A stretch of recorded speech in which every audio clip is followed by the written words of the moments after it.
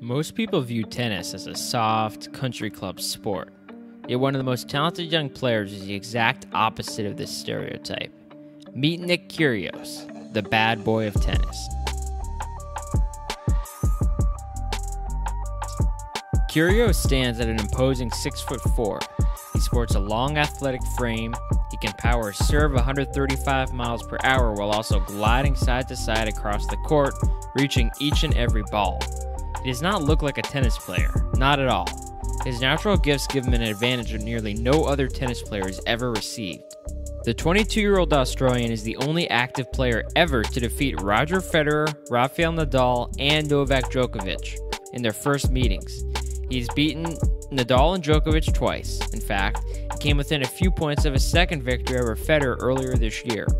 I think Nick is the most talented player since Roger jumped on the scene, Paul Annacone, a former coach of Federer and Pete Sampras, has said. At the 2014 Wimbledon Championships, the biggest tournament in tennis, Kyrgios, at the young age of 18, reached the quarterfinals, defeating Richard Gasquet and Rafael Nadal along the way. This run was special. It was unprecedented. The tennis world was buzzing, eager to crown Nick as the next dominant player in the sport. Yet four years later, Kyrgios sits as the 20th ranked player in the world. His similarly aged peers, Alexander Zverev and Dominic Thiem, have long passed him. They own the fourth and seventh ranked spots, respectively. Oh, in that 2014 run to the Wimbledon quarters, well, Kyrgios hasn't gotten past the quarterfinals in any Grand Slam event since. So what happened? Well, it's complicated. Many people, including Nick himself, have questioned his interest in the sport. In recent years, while Kyrgios has not received attention for his play, he has received attention for his antics on and off the court.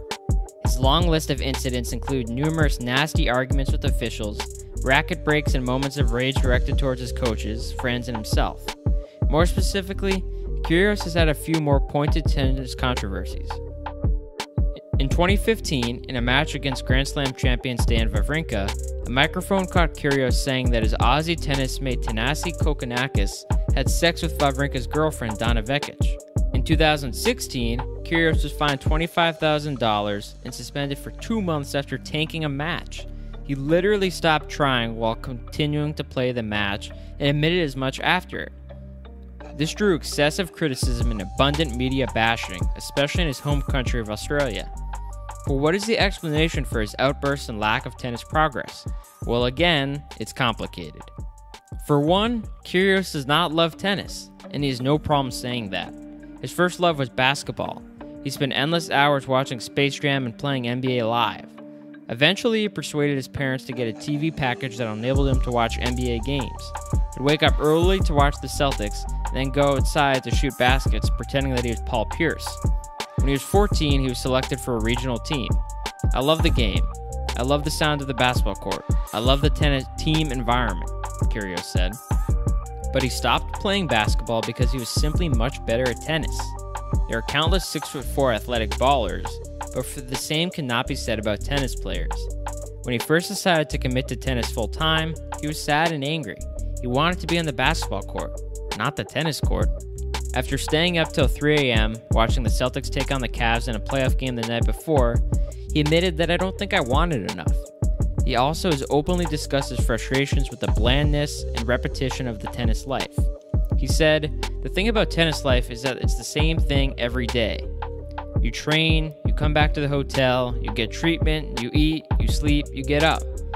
It is unglamorous and exhausting. A life spent half in airports and hotels, thousands of miles from home. Almost every trip is punctuated, often early, with the loss. Some players orient themselves by the familiarity of their routines. Not Kyrgios. He gets homesick, injured, and bored. He wants to be playing basketball. He'd rather be fishing. He misses his dogs, his girlfriend, his family, his friends. While nearly every other competitor lives and breathes the sport, dedicating every free second to it, Kyrgios does not share this level of commitment. But once again, there is more to the story. While you may be thinking that Kyrgios simply doesn't care about the sport at all, Try to explain why he confesses to getting very nervous before each match. Wouldn't this be a sign of caring? Also, explain the differences of his behavior on and off the court.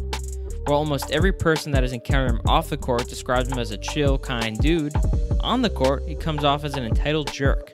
In recent months, Kyrgios has shown signs of maturity and increased desire in improving his game. But will it ever truly click for him? Personally, Nick Kyrgios has sparked my interest in the sport of tennis. I remember first seeing Kyrgios during the 2014 Wimbledon run and being entranced. I found his antics incredibly entertaining and a refreshing display of personality.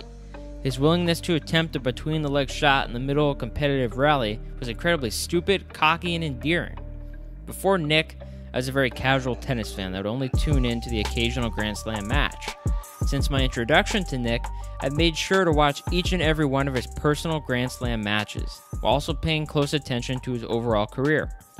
My experience as a Kyrgios fan has been slightly amusing, but more frustrating. One mistake snowballs into two, and before you know it, he's losing to a player with not a tenth of his natural athleticism and talent. Each match, you can see the astonishing potential. However, each match, you see even more displays of immaturity, lack of focus, and squandering of talent. What the future holds for Kyrgios is even more uncertain. Will he commit fully to tennis? Will he reach his potential? Or at least make an honest attempt to? It's unlikely, but not impossible. So, I ask you, Comment whether you think Kyrgios will ever establish himself as a truly elite player. Will he win a Grand Slam? Will he get to a final? Comment below. That's all for this video. If you enjoyed it, please give it a like and subscribe to the channel. If you're interested in learning more about Nick Kyrgios, feel free to consult the sources linked down below. Thanks.